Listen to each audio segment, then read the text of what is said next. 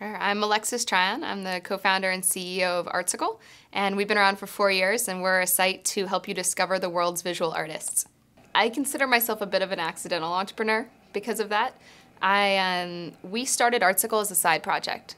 My, uh, my co founder is also my significant other, and he was teaching himself how to code.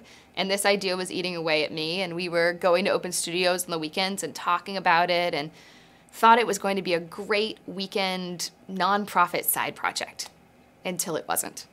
Uh, he was looking at VC jobs. I was thinking about leaving Amex but going directly into another similar type of job uh, to go back to the restaurant industry.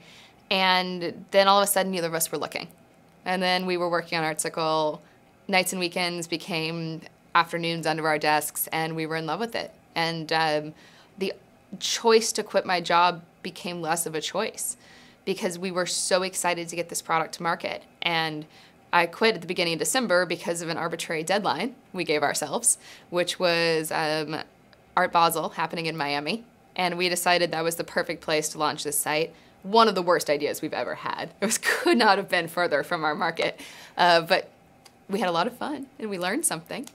Um, yeah, I think you know those those early days and learning to just walk away. Um, I had a bonus waiting for me if I would have stayed at the company for two more months. But two more months was way more than I could manage staying away from Artsicle at that point.